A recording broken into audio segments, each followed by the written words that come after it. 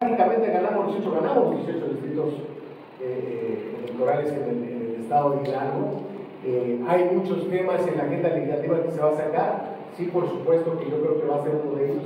Revisar la ley orgánica del Congreso, su propio funcionamiento. Recuerden ustedes los antecedentes que existieron, que existen, perdón, que existen con respecto a cómo se dieron estas, estas reformas. Hoy, los resultados electorales dan un mandato ¿no?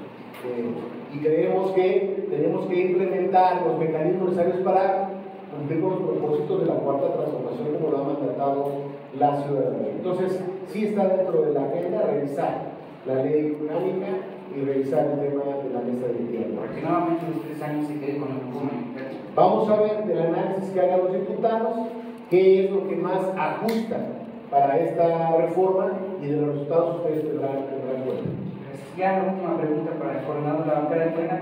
Este,